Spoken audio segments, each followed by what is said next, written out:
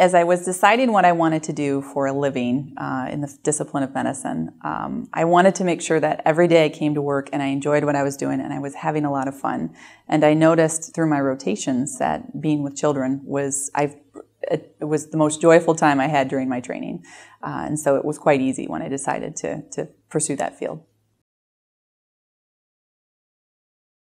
My care philosophy is everything matters, and to try to be here now uh, in a busy practice and seeing numerous patients a day and having a lot of responsibilities and also taking care of parents who have just the same responsibility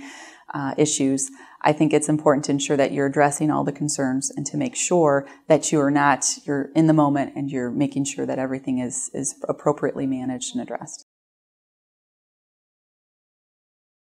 What I think is most important uh, as a pediatrician, uh, and to in terms of giving advice to parents, is to read to your children.